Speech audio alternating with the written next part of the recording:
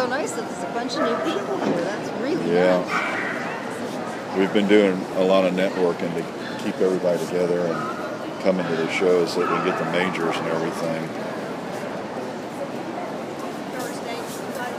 Dallas is good for us with Mary and Doris, but they won't travel anywhere outside Dallas.